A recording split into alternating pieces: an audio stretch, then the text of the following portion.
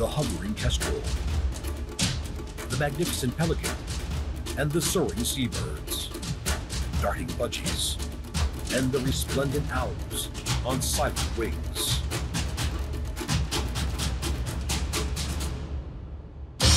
Falcons that fly faster than the turn of a head, eagles that carry off young wallabies, vultures that clean the African plains.